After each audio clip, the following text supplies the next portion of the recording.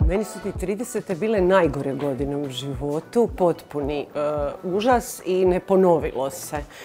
Ja sam se nekako u 30. godinama jako bičevala.